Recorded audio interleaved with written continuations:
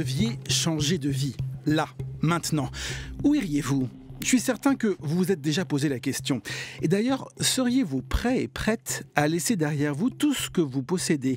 Votre appartement, votre boulot, vos amis, bref, choisir un endroit où vous n'aurez plus de repères. Avec les auteurs de BD que nous avons conviés ce midi, nous avons décidé pour vous, au moins jusqu'à 13h30, nous partons tous en forêt un retour aux sources, une échappatoire, une envie de disparaître, nous verrons bien. En tout cas, nos lecteurs et lectrices, eux, sont prêts et prêtes pour le voyage. C'est le début de l'aventure qui va se révéler être également un voyage intérieur. On est sans cesse face à un dessin incarné qui semble doté d'une âme propre. Ce que je retiens de cette BD, c'est l'harmonie. Où chaque être a sa place dans une symbiose, une harmonie. Entre les planches et le récit. Cette symbiose entre l'image et l'écrit m'a invité à lire entre les lignes et à voir entre les cases devenant alors autant acteur que spectateur de ce récit. Extraordinaire. France Culture, le Book Club, Nicolas Herbeau. Extraordinaire. Rémi Vincent et Isabelle, les membres de la communauté du Book Club qui nous accompagnent ce midi. Bonjour Xavier Mussa. Bonjour. Vous êtes illustrateur, graphiste, éditeur, musicien et donc auteur de BD. Vous venez de publier Les pistes invisibles chez Albin Michel. C'est votre première fiction l'histoire d'un homme qui donc abandonne sa vie pour euh, s'enfuir dans une forêt, s'y enfoncer avec la volonté d'y disparaître. Euh, si c'est une fiction, elle est tout de même inspirée de, faits réels. C'est l'histoire d'un Américain qui en 1986 a, a vécu ce que vit votre personnage. Euh, oui, c'est une personne, donc euh, je précise pas un personnage, moi j'en ai fait un personnage, mais c'est une personne euh, assez connue finalement, hein. je me rends compte que les gens connaissent bien cette histoire, qui s'appelle Christopher Thomas Knight et qui a, qui a disparu du jour au lendemain, sans signe avant-coureur, sans préméditation. Euh, d'une manière totalement inexpliquée, qui a, qui a disparu pendant 25 ans euh, et qui est, qui, a, qui est finalement réapparu euh, parce qu'on a fini par le, par le retrouver, par l'attraper. et qui a la particularité d'avoir vécu pendant 25 ans dans la forêt sans véritablement vivre dans la forêt en fait. Il a, il a inventé un, un mode de survie assez unique euh, on, va, on va en parler, mais qu'est-ce qui vous a justement intéressé dans, son histoire à lui? Qu'est-ce qui vous, qu'est-ce qui vous a dit euh, Qu'est-ce qui vous a parlé en fait dans cette expérience qu'il a vécue ces quasiment 30 ans à vivre dans une forêt? Euh, Je crois. Alors il y a beaucoup de choses qui m'ont qui m'ont qui m'ont happé dans cette histoire. la question de la rupture. qui est une question qui m'intéresse qui énormément. La, et puis, et puis ce qu'en disaient les gens finalement, euh, euh, cette, façon de, considérer cette expérience en ne la comprenant pas. Euh, et en, en qu'elle ne pouvait être motivée que par un trouble psychique ou et raisonnement que je n'ai absolument pas tenu en, en, en, en apprenant cette, cette histoire, il m'a semblé qu'on pouvait basculer très facilement en fait, dans les choses, et qu'au contraire, cette histoire me semblait euh, très explicable, en fait, enfin, que, qu'on pouvait broder quelque chose sur, la, sur l'explication de cette histoire. Alors partir en forêt, euh, partir y vivre en abandonnant euh, derrière nous toute notre vie, c'est une démarche qui nous a donné envie de vous faire échanger avec Jérémy Moreau. Bonjour. Bonjour. Vous êtes à distance depuis chez vous dans le sud de la France avec nous ce midi. Je vous en remercie. Vous êtes scénariste et vous avez publié chez Delcourt Mirage à l'automne Les Pisli, une bande dessinée sur fond de réchauffement climatique qui nous conduit cette fois-ci en, Alaska. Alors pour ceux qui connaissent vos précédentes œuvres, euh, après la, préhistoire, si je puis dire pour résumer, hein, et, l'Islande du XVIIIe siècle, vous aviez vous aussi envie de vous, de vous emparer d'un thème plus contemporain cette fois-ci? Oui, c'est vrai que ça faisait euh, un petit moment que je me demandais par quel bout attraper euh, la modernité. Et donc euh, c'est passé par, par beaucoup de lectures et finalement j'ai trouvé cette accroche, cette accroche un peu singulière du GPS et de la perte d'orientation à force d'utilisation intensive du GPS. Alors c'est amusant puisque Xavier Mussa parlait de rupture. Dans votre histoire aussi, il y a une rupture, il y a un moment donné où, votre personnage principal, Nathan, on, va évidemment euh, expliquer sa vie dans, un instant, mais, n'en peut plus. Et la rupture, c'est aussi ce départ vers l'Alaska, vers la forêt, vers l'inconnu. Exactement. Euh, donc en fait, on suit ce chauffeur Uber qui utilise son GPS depuis 4 euh, ans de manière intensive Et en fait, à force d'être plongé dans cette de suivre les ordres en fait euh, de, ce GPS, euh, des, ordres qui viennent du, satellite, qui est du coup un espèce de point de vue de nulle part, à force de mettre son corps dans tous les sens possibles et imaginables, sans jamais euh, incarner la, présence à la, Terre, va faire qu'il se perd complètement. Il n'est plus capable de retrouver le chemin de sa maison. Et donc c'est très problématique pour mon personnage puisqu'il s'occupe de son petit frère de son petit frère et de sa petite sœur. Effectivement. On, va, on va évidemment raconter un petit peu ce qui se passe dans, dans votre bande dessinée, mais notre lectrice Isabelle, elle, a lu euh, votre BD et elle a eu une lecture coup de cœur pour les On l'écoute. Bonjour au Book Club. Je vais vous parler du livre que je recommande le plus à mes amis en ce moment parce que ça a été une vraie lecture coup de cœur et il s'agit d'une BD qui s'appelle Les Pisli. Elle raconte l'histoire de Nathan qui élève seul son petit frère et sa petite sœur. Nathan il est chauffeur Uber à Paris et il galère, il est épuisé par son quotidien. Suite à un accident, une de ses clientes va lui proposer de partir en Alaska et il va accepter. C'est le début de l'aventure qui va se révéler être également un voyage intérieur. Ce récit, il invite à réfléchir sur notre mode de vie, à ce qui est réellement important et à ce qui mérite toute notre attention. Ce que je retiens de cette BD, c'est l'harmonie entre les planches et le récit, parce que les dessins ils sont tout aussi oniriques et poétiques que ne l'est l'histoire avec une mention toute particulière pour les planches double page que l'on a envie d'accrocher au mur et de contempler. Je voulais en profiter pour poser une question à Jérémy Moreau et lui demander comment lui était venue l'idée du titre Les Pisli. Alors Jérémy Moreau, expliquez-nous d'abord peut-être ce qu'est un Pisli et effectivement pourquoi euh, avoir donné ce, titre à, à, votre BD. Alors effectivement, le Pisli, euh, c'est une des nouvelles espèces engendrées par le changement climatique. Euh, la banquise fond, les ours polaires euh, sont obligés de descendre euh, pour retrouver la Terre. De l'autre côté, les grizzlies, eux, ont chaud et remontent. Et pour la première fois de l'histoire du monde, ils se retrouvent à partager les mêmes terres. Et il se trouve qu'ils sont compatibles et qu'ils donnent naissance à une nouvelle espèce qui s'appelle donc le, le Et donc, moi, ce qui m'intéressait là-dedans, c'était vraiment le L'hybridité, euh, la forme, euh, cette idée de, métamorphose qui me semble vraiment caractériser euh, l'époque écologique qu'on traverse, à savoir l'éclosion de la fracture entre la culture d'un côté la nature de l'autre. Et hum, à mon sens, la crise écologique se résoudra par l'hybridité, la métamorphose entre ces deux bulles distinctes et donc, euh, mes, personnages euh, incarnent un petit peu ça. Ils, quittent la ville pour partir euh, vivre différemment et ils découvrent qu'ils vont devoir devenir peut-être autre chose qu'humain, un, nouvel humain et pourquoi pas une, sorte de, de humain. Xavier Mussa, ça vous inspire cette idée d'adaptation des, hommes qui changent de, de, lieu de vie pour, pour s'adapter à des conditions différentes, s'adapter à une vie différente? Vous aussi, il y a cette idée dans, dans votre BD euh, c'est alors il y a cette idée, mais c'est un petit peu l'inverse. C'est-à-dire que ce, personnage euh, euh, mène une expérience extrêmement singulière, puisque bien qu'ayant vécu 25 ans seul en forêt, ne change absolument pas son mode de vie, justement, puisqu'il a, recours à des, il fait des, incursions dans les, dans les, maisons, euh, euh, des, maisons, des résidences secondaires hein, de, gens qui habitent autour d'un lac qui est dans cette forêt et puisant euh, de manière euh, homéopathique comme ça, euh, petit à petit les choses dans ces maisons, il parvient à, maintenir un, mode de vie qui est totalement notre mode de vie. En fait, je, crois, qu'il a même été jusqu'à chaparder une télévision qu'il aura branchée sur une, sur une batterie de télé. il, passe, il va passer énormément de temps à lire des revues qu'il chaparde, des livres aussi. finalement, son, son mode de vie, enfin, il, a un mode de vie qui ne, qui ne change absolument pas finalement. Hein, qu'est-ce qui fait qu'il s'isole alors, ce, personnage? Parce que dans, dans le, la BD de Jérémy Moreau, on a compris, il y a un burn-out, il y a quelque chose qui le mène, qui le pousse à bout, il n'en peut plus, il est dans une situation difficile, on va, on va y revenir bien sûr, et il a une rencontre providentielle qu'on va expliquer dans un instant, et, et il change de vie. Là, qu'est-ce qui explique que vous, votre personnage, va vouloir disparaître dans cette forêt?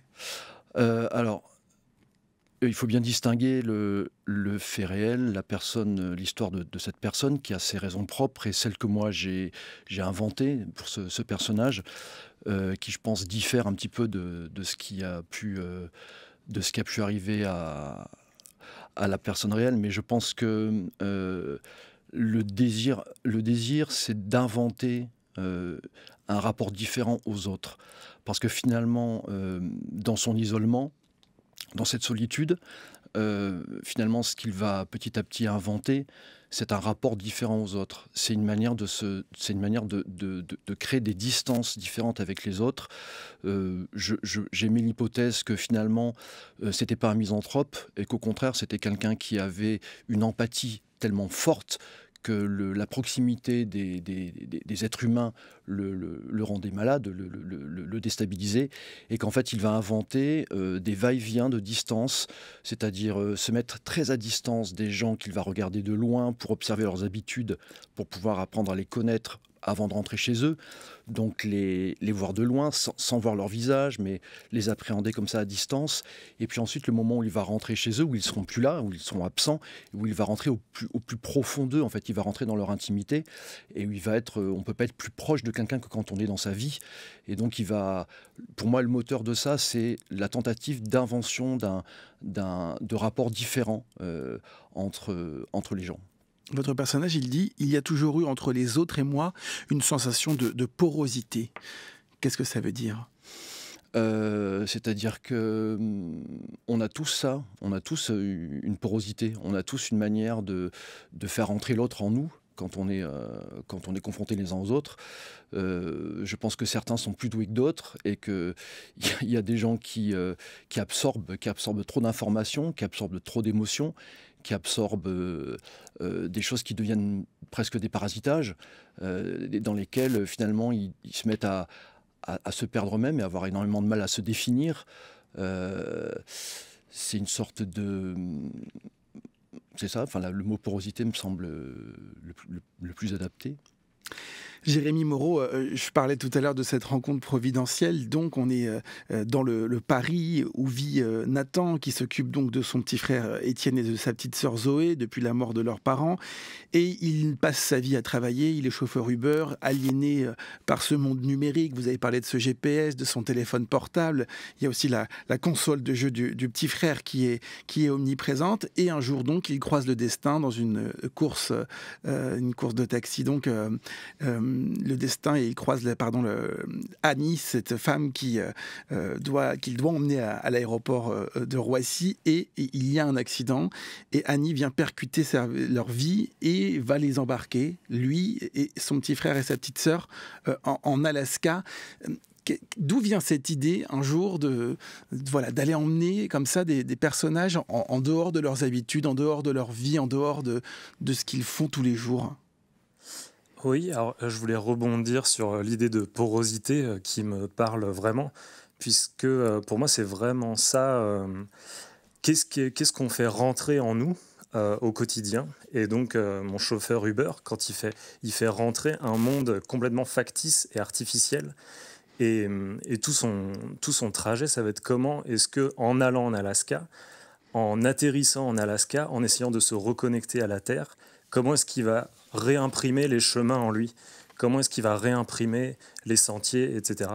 Et, là-dedans, je pense qu'il y a vraiment euh, une proximité avec euh, le travail de, Xavier Mussa. C'est-à-dire comment est-ce qu'on fait rentrer la nature, la forêt en soi dans, euh, cette, porosité. Et quand on habite en ville, évidemment qu'on ne fait pas rentrer les mêmes choses. Et donc, c'est vraiment ça le tout le, toute la destinée de, mes personnages qui se sont coupés de euh, l'impression du monde en nous avec euh, cette espèce de vitre qui serait les, écrans, le GPS, euh, etc. Il y a aussi euh, euh, l'idée, et ça c'est une idée commune, d'expérimenter, de, de, ressentir ce qu'est, la forêt. Votre personnage Nathan, quand il arrive en Alaska, il, part marcher euh, très longtemps. Il a besoin d'éprouver ce, nouvel endroit, un petit peu comme votre personnage Xavier Mussa, qui lui aussi va, quand il rentre dans cette forêt, il y a toute une partie très sensorielle, très, très de toucher presque, de, d'expérimentation de cet endroit. Oui, c'est l'aspect qui m'a le plus intéressé sur le, sur le développement de cette, de cette aventure. Euh, bien qu'il soit beaucoup dit que c'était un livre introspectif, euh, je, maintiens l'idée que c'est une aventure. Euh, euh, et qu'effectivement, euh, ce qui m'a euh, le plus intéressé, enfin du moins, j'ai essayé de travailler sur la question de la forêt à, hauteur de mes, de mes expériences personnelles, et qui sont des expériences extrêmement sensorielles. et ce qui m'intéressait, c'était de, c'était de perdre ce personnage dans cette forêt, dans le sens où de l'épreuve du corps. Euh, c'est-à-dire qu'on ne peut pas, je pense, euh, vivre euh, une aventure aussi immersive sans, sans, que la, la forêt, dans, tout ce qu'elle implique, ne finisse par, par, par, produire cette impression de, de, se dissoudre en elle. et donc j'ai essayé de, travailler, de, de, prendre le temps de récit, euh, de fabriquer un temps de récit qui permette de, développer toutes ces, toutes ces, tout, ce rapport euh, à l'écoute, notamment au son. J'ai beaucoup travaillé sur l'idée de, de, ce qu'étaient les sons, dans, dans, notamment de l'inaudible, euh, de ce qu'on, qu'est-ce qu'on entend finalement dans, dans une forêt on a souvent l'impression de ne rien entendre, mais en fait, on entend tout, et c'est une question de tout est une question de, niveau des choses.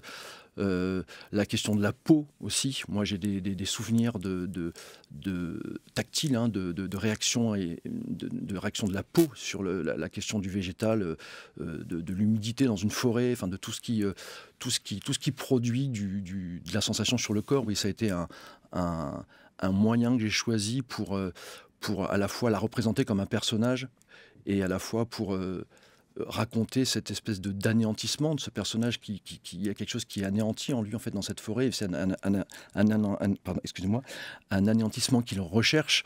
Euh, voilà. Alors justement, euh, votre première fiction, je, je, le disais, et Vincent de la librairie BD Fugue Café à Annecy l'attendait avec beaucoup d'impatience. On l'écoute. Durant les 23 années de ma carrière de libraire, il y a dans le panthéon de mes œuvres les plus aimées Carnation de Xavier Mussa, paru en 2014. C'est dire si j'attendais avec impatience cette nouvelle bande dessinée. Toutefois, mon expérience de grand lecteur m'a appris que plus l'on en attendait d'un livre et plus l'on prenait le risque d'être déçu. Et l'ouvrage est enfin arrivé à la librairie. Beau et grand et néanmoins déstabilisant dans son parti pris graphique, notamment avec cette bichromie de bleu et d'orange. Lorsque le temps de la lecture est enfin arrivé, le plaisir s'est rapidement déclenché. Moi qui suis mutique et imperturbable lors d'une lecture, voilà que je lâchais à voix haute. Extraordinaire. Et c'est le constat qui m'a accompagné au fil des pages. Extraordinaire, me répétais-je sans cesse. Chez nous manquant entre le roman et la bande dessinée dans la sensation de lecture, les textes et les dessins des pistes invisibles sont bien présents mais sont faits de symboles graphiques qui m'ont laissé libre cours à interpréter. Cette symbiose entre l'image et l'écrit m'a invité à lire entre les lignes et à voir entre les cases, devenant alors autant acteur que spectateur de ce récit extraordinaire. Une réaction, Xavier Mussa, de la lecture de, Vincent. Euh, euh, on, a déjà un petit peu échangé. Je, enfin, ah oui je, vais le rencontrer, bientôt. Euh, je, suis, content d'entendre à nouveau son, son enthousiasme. Euh, donc, est-ce que je peux vous... non, mais c'est comment vous comment dire quand on se lance dans une dans une fiction, est-ce qu'on est-ce qu'on attend, euh, je sais pas, euh, est-ce qu'on y va avec à tâtons, est-ce que est-ce que c'est plus difficile pour, pour, pour vous ou c'est justement l'endroit où on a on a le droit de tout inventer, tout imaginer? Vous voulez dire la fiction par rapport en opposition à l'autobiographie? Hmm. Je fais pas tant que ça de différence finalement entre les deux. J'ai, quand j'ai pratiqué l'autobiographie, choisi euh, euh, le cheminement euh, de ma vie pour aller chercher des, des choses à raconter. finalement, je me suis senti une proximité avec ce personnage, avec ce, Christopher Knight. Je me suis senti une, une, proximité à chaque fois que j'apprenais des choses sur sa vie. Euh, j'étais surpris de, constater autant de connexions euh, finalement entre nous. Et en fait, j'ai eu l'impression de juste, euh, à un moment donné, mettre des chaussures de marche, c'est-à-dire de choisir, de choisir de mettre quelque chose au pied pour rentrer dans, dans, une, dans une, une histoire que j'allais avoir euh, beaucoup de facilité à, inventer parce qu'elle résonnait énormément. Euh, donc, euh, je sais pas, je crois que, je crois, que le moment où on, cesse de réfléchir à la question de l'invention, justement, de, l'histoire, je pense que c'est le moment où on se met vraiment à, réussir à la raconter. Je, suis un petit peu embêté par votre question parce que je me rends compte que finalement, j'y avais jamais pensé. En fait, j'avais jamais pensé à la, en le faisant, je ne me suis pas posé une seule fois la, question de savoir, mais est-ce que c'est difficile finalement d'inventer euh, quelque chose? Il y a eu une évidence là-dessus, euh, un fil qui s'est déroulé absolument euh, tout seul, et c'était une improvisation. C'était une improvisation. J'ai pas eu un plan de la même manière que lui s'est enfoncé dans cette forêt sans, sans préméditation.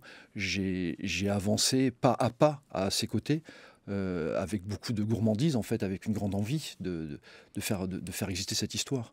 Ce qui est euh, aussi euh, intéressant, est-ce que c'était une évidence d'ailleurs, ça je vous pose la question, votre personnage il est évidemment au cœur de, ce récit, c'est lui le, narrateur, mais on ne le voit jamais, on entend sa voix quand on le lit, mais il ne dialogue avec personne.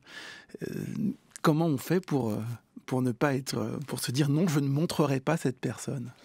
Euh, sérieusement, c'est une question euh, à laquelle j'aimerais énormément répondre, euh, comment dire autrement qu'en prenant le temps que je prends d'habitude pour, pour y répondre, parce que c'est une question assez vertigineuse et c'est un cheminement dans mon travail. mon, dernier album de bande dessinée se, se, se, clôt sur la disparition du personnage, justement. Les, dernières pages, je consomme une disparition du personnage parce que je cherche, je cherche à le, à le distordre, je, je, cherche des formes au personnage et puis je finis par m'en débarrasser.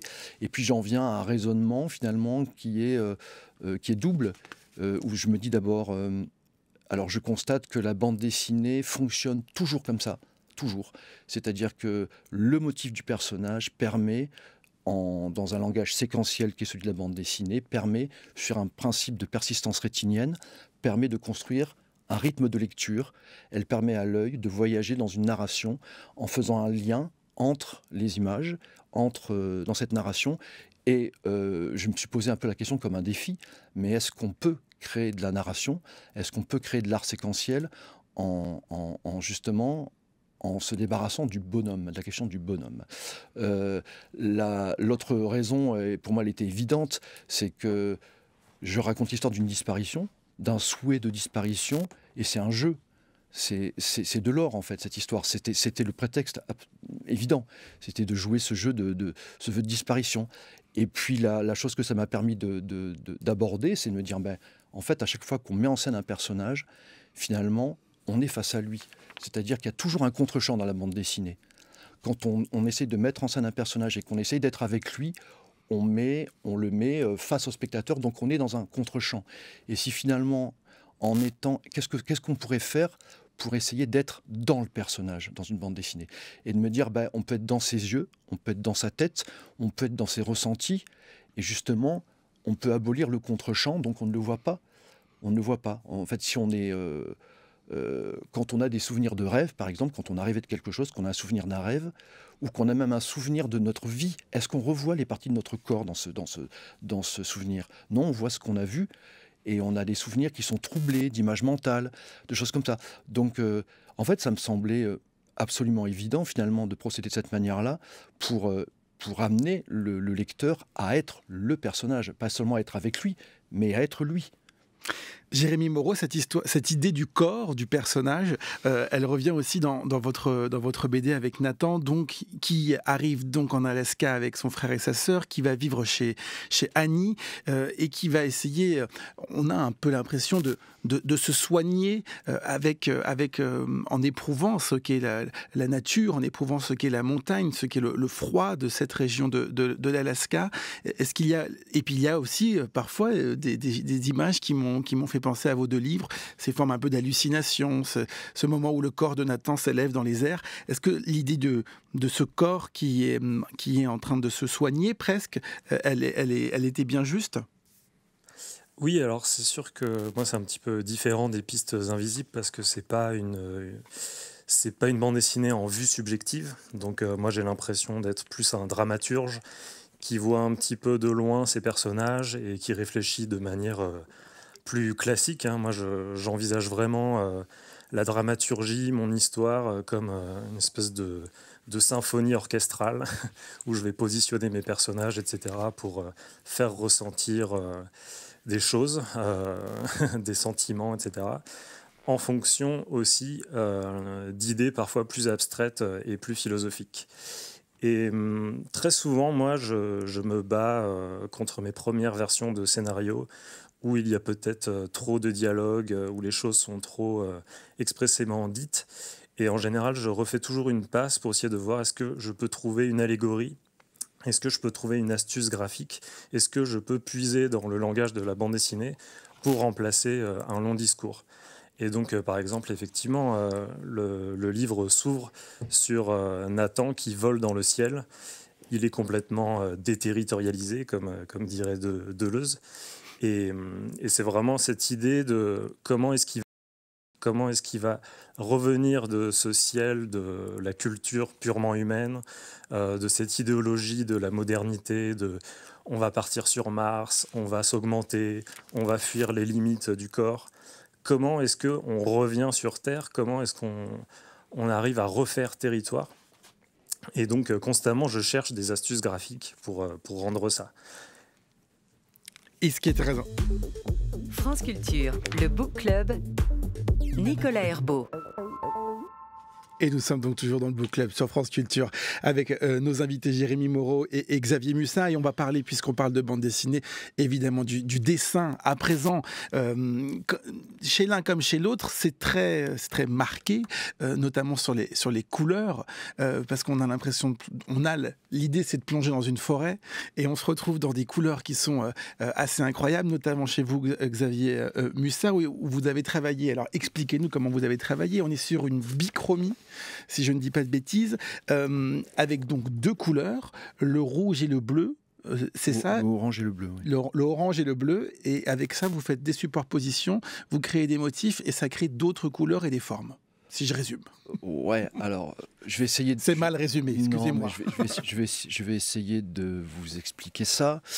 Euh, donc, ce qu'il faut peut-être essayer de comprendre de manière simple, c'est que la, tradition, on va dire, du rapport de la couleur dans, la bande dessinée, elle est dans celui de la, mise en couleur du dessin. C'est-à-dire qu'il y a souvent un dessin préexistant et la couleur vient agrémenter, vient, vient, construire quelque chose, vient apporter quelque chose. on parle souvent voilà, de colorisation du dessin. la particularité de ce travail, c'est que le dessin ne préexiste pas. C'est-à-dire que le, donc on a bien deux couches de couleurs, une orange, une bleue, mais chacune de ces deux couches est fabriquée préalablement sur papier en dessinant des masses noires. Euh, jamais de trait de contour, ça je me suis imposé de ne jamais avoir recours au trait de contour pour ne pas justement céder à l'envie de cerner des choses.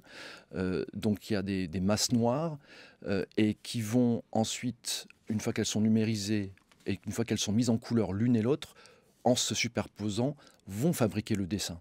Ça veut dire que si on enlève une des deux couches, le dessin disparaît. Un, et ce que ça impliquait, c'est qu'en le faisant, en travaillant de cette manière-là, euh, je pouvais très mal anticiper finalement ce que ça donnerait. Il y a eu une part très hasardeuse, puisque euh, il, y avait une part d'accident. J'ai finalement, petit à petit, au bout d'une centaine de pages, suffisamment maîtrisé ma technique pour réussir à anticiper les choses.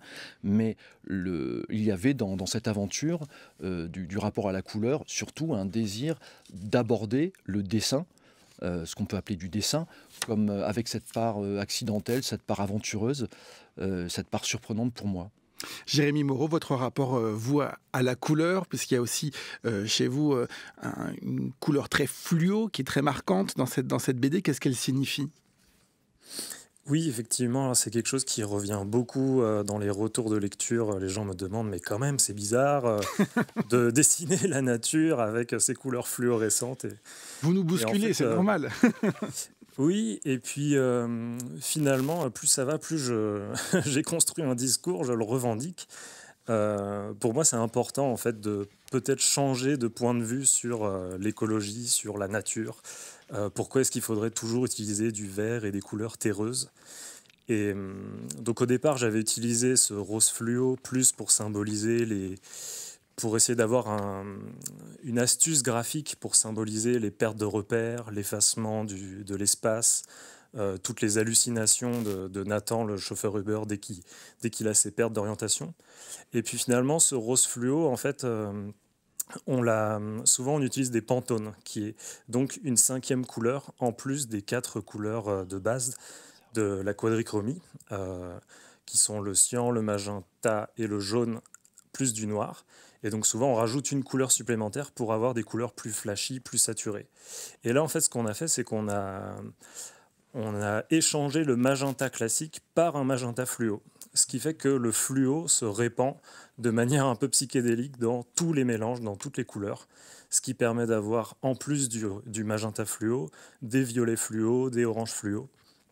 Et, euh, Vous le voyez pas, Jérémy Moreau, mais Xavier Mussa euh, a l'air très très intéressé par, par cette technique. Euh, oui, oui, parce que c'est des, des, des, procédés de. Euh, comment dire on, on, oublie que finalement, euh, quand on fait un livre, on est face à, à, une problématique à résoudre, c'est la fabrication de, de, de, ce livre. Ce qu'on va faire, on a, on a un petit peu tendance à penser que finalement, on, fait ce qu'on a à faire en, on, dessine, on fait nos choses, et puis ensuite, euh, euh, voilà, il y, a la fabrication qui nous échappe un peu, et je trouve ça toujours très intéressant quand la, conception du livre, sa mise en image, sa mise en couleur, euh, prend, en, considération cet aspect de fabrication. Et effectivement, je trouve ça, je comprends un petit peu mieux, je trouve ça très ingénieux, et ça fonctionne extrêmement bien, hein, la, luminosité de cette couleur qui finalement est la couleur chaude. Euh, la, chaleur que ça, que ça amène dans, cette, euh, dans cet album, hein, je, comprends du coup euh, mieux, effectivement. Même si Jérémy Moreau, c'est quelque chose d'un peu antinaturel, presque, on a envie de dire. Hein. Oui, et du coup, c'est ça qui m'intéresse de plus en plus. Je m'intéresse à la perception animale, tout ce qui peut nous décentrer du point de vue humain. Et, et c'est assez marrant, par exemple, de voir la vision des insectes qui ressemble beaucoup plus à mon album que à la réalité. Ils peuvent voir effectivement des couleurs extrêmement fluo euh, dans, dans, les, dans les infrarouges, je crois. Et, et ça, ça m'intéresse vraiment euh, de se décentrer de comment est-ce que nous, on voit la nature. Et par ailleurs, même nous, comme on la voit, des fois, j'ai envie de rétorquer, bah ouais, mais en fait, la nature, c'est pas que de la terre et, et, du vert kaki. Euh, une feuille chargée de chlorophylle qui prend le soleil, c'est c'est un vert fluo complètement inimprimable de manière classique. Et, donc c'est quelque chose avec lequel j'ai de plus en plus euh, envie de, jouer, et, au sens euh, de comment euh, moi, en tant qu'auteur de BD, je peux donner une esthétique de l'écologie. J'ai envie de révolutionner un peu cette, esthétique en allant vers des choses qui peuvent être beaucoup plus pop, beaucoup plus hype. le hype n'est pas l'apanage de Chanel et des, des, grandes firmes. La nature aussi, à mon avis, peut avoir euh, un attrait esthétique euh, hyper, euh, hyper puissant. Xavier Mussa, c'est quoi votre rapport à la nature et à la forêt Est-ce que en écrivant et en dessinant cette BD, vous avez, il a changé ou est-ce que il était déjà très fort? Comment vous, vivez ça? Non, je me suis rendu compte que j'avais, de par mes expériences passées, une comment dire, une mythologie en fait de la, de la forêt. Hein. J'ai raconté tout à l'heure que j'avais, j'avais eu des expériences qui avaient imprimé en moi des, des souvenirs très sensoriels. Euh, j'ai vécu euh, la fin de mon enfance et le début de mon adolescence dans, vraiment dans la, dans la campagne avec des, des petites forêts à côté. Et comme on était très isolés, euh, finalement, je crois que je jouais pas mal en fait sans connaître cette histoire, mais je, puis je crois qu'elle elle s'est déroulée à cette époque-là, en fait, justement. Mais euh, j'ai joué à Christopher Knight, en fait, quand j'étais, quand j'étais adolescent, mais j'y jouais. Je rentrais dans la forêt et je m'imaginais ne, ne pas en ressortir. Donc j'ai un, rapport euh, d'adolescence euh, assez fort avec ça. Et puis, il y a eu, il y a quelques années, avec l'émergence de la pensée sur le sur de la prise de conscience sur l'échauffement climatique et la, toute cette espèce de, de, climat anxiogène dans lequel on est depuis, moi, j'ai complètement découvert ça. J'ai découvert un, en fait un, rapport euh, rassurant en fait à ça. Je suis retourné en forêt depuis, depuis peu et j'ai trouvé, j'y ai trouvé beaucoup de réconfort en fait. Et on, retrouve aussi ce réconfort et, cette expérience dans votre BD Xavier Mussa. Merci beaucoup d'être venu nous en parler, les pistes invisibles chez Albin Michel. Je vous remercie également Jérémy Moreau d'avoir été avec nous à distance. Donc je rappelle le titre de votre BD Les Pisli publié chez Delcourt Mirage. Dans un instant, on découvre ensemble l'épilogue de ce book club, mais avant 13h25, voici les quadritèmes de Charles Danzig. Orson Welles a écrit un roman, Monsieur Arcadine, après son film du même titre. Le roman est moins bien. Cela vient du fait qu'il s'y cantonne à l'histoire, lui qui, de ses films, savait faire bien mieux que des histoires, grâce à ses éclairages, ses cadrages, ses travelling, enfin sa mise en scène. Monsieur Arcadine, le livre, est juste un récit. En dehors du cinéma, Orson Welles savait mieux parler qu'écrire. C'est qu'il y prenait un genre, celui de l'ogre rieur. Vite devenu gros et l'étant peut-être devenu quand sa carrière, pour avoir des plus impuissants, avait trébuché, il a réalisé ce qu'il a pu et, au lieu de se retirer et de bouder, il a parlé, parlé, parlé. Il le faisait pour le plaisir, mais aussi pour manger. Il gagnait sa vie en jouant dans des publicités.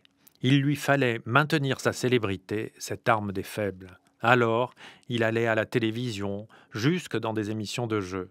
À toute occasion, il participait à des talk-shows. Tant mieux pour nos oreilles, car il était un grand comédien de la parole.